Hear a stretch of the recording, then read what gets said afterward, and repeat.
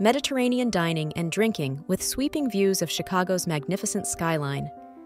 Created by the award winning One Off Hospitality and sister venue to the highly popular Avec in West Loop, Bar Avec is a buzzing and open air Chicago rooftop, opened in 2021.